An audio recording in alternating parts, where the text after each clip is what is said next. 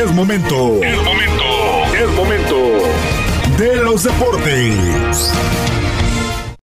Vámonos con temas deportivos y es que mire, ya se lo decía, de acuerdo con el periódico Esto Deportivo, Laura Galván tuvo una noche redonda en el Campeonato Mundial de Budapest.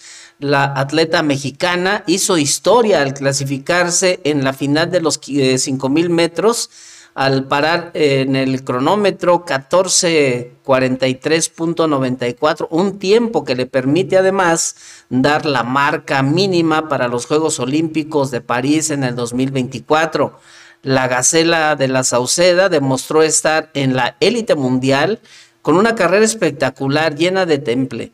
Desde los primeros metros, la mexicana se posicionó junto al primer pelotón y desde ahí, los, eh, desde ahí implementó su estrategia, consciente de que pues, terminar en los primeros ocho lugares le daría el pase a la final. La guanajuatense mantuvo su ritmo y aguantó la embestida para luego comenzar con los rebases que le permitían acercarse a su objetivo.